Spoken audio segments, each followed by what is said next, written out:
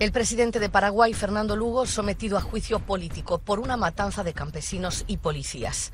La Cámara de Diputados aprobó el inicio de un proceso para destituir al mandatario por mal desempeño de sus funciones. Esto ocurre a menos de tres meses del final del mandato del presidente. La crisis se originó por enfrentamientos armados entre policías y campesinos en la ciudad de Curuguatí, situada al noreste del país. 11 campesinos y 6 policías resultaron muertos. Todo se está haciendo con la ley, por la ley, por el camino de la ley, con la constitución en las manos. Le hacemos el llamado a las Fuerzas Armadas de la Nación y a la Policía Nacional a hacer cumplir la Constitución Nacional y a mantener el orden, la paz y la tranquilidad de la República del Paraguay. Saben que ayer hemos agotado la vía del diálogo para intentar llegar a una salida lo menos traumática posible de una, esto ya no es una crisis, compañeras y compañeros. Esta es una situación consolidada de violencia que tenemos en el Paraguay. Ya no es una crisis. Y el artículo 173 de la Constitución Nacional establece claramente que la Fuerza Armada de la Nación, última parte de su misión es la de custodiar la integridad territorial y la de defender a las autoridades legítimamente constituidas conforme con esta constitución y las leyes.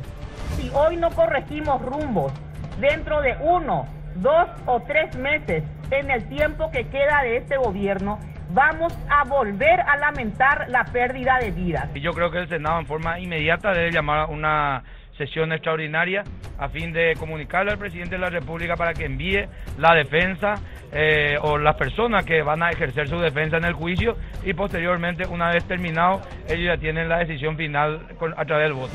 Los paraguayos no nos merecemos esta presidencia, señor presidente.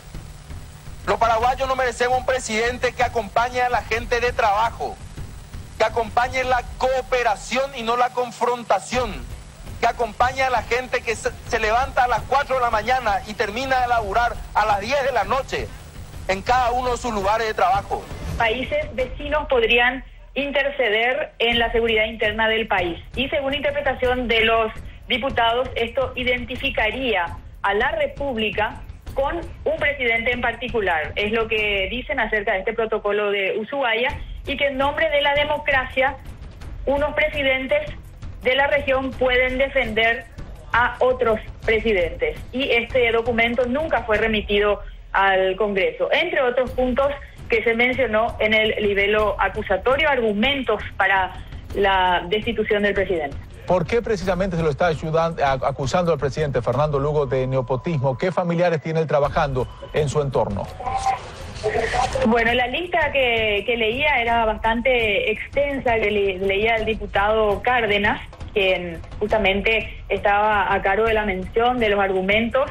Eh, para acusar al presidente, mencionaba específicamente el nepotismo, que incluyó en diversas acciones públicas a numerosos parientes y empezaba la lista con eh, la propia hermana del presidente, a quien nombró por decreto primera dama cargo que, eh, según el nivel acusatorio, no le correspondía. Después seguía la lista con numerosos eh, sobrinos eh, y allegados al entorno familiar cercano del presidente, también se mencionaba el hermano, una lista bastante extensa que incluso dijo el diputado Cárdenas que no iba a leer en su totalidad por una cuestión de tiempo, pero específicamente se mencionó el nepotismo. Otro de los puntos de los cuales se habló, que en su momento generó muchísima polémica, es la compra de unas tierras de un empresario brasileño de apellido Texeira, que se habían comprado, este empresario había comprado, según la información que se divulgó, por 11 millones de dólares. Este presidente, electo por el voto popular de los ciudadanos el 20 de abril del 2008, asume este mensaje a la nación para dejar en claro su postura sobre los acontecimientos que son de público conocimiento.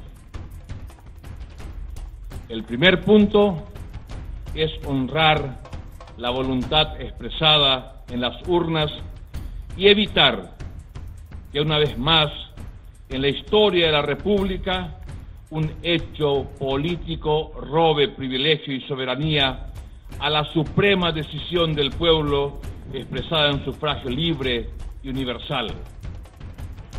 De cara a este desafío, este presidente anuncia que no va a presentar renuncia al cargo y que se somete con absoluta obediencia a la Constitución y las leyes a enfrentar el juicio político con todas sus consecuencias.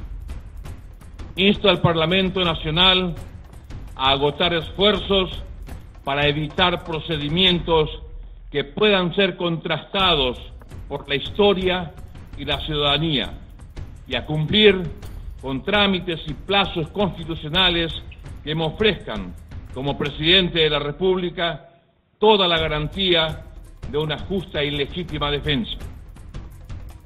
Sometiéndome al procedimiento constitucional e instando a sostener un clima de paz en toda la República, denuncio ante el pueblo paraguayo que su voluntad, expresada en las urnas el 20 de abril del 2008, está siendo objeto de un ataque en misericordia de sectores que siempre se opusieron al cambio y se opusieron a que el pueblo pueda participar como protagonista de su democracia.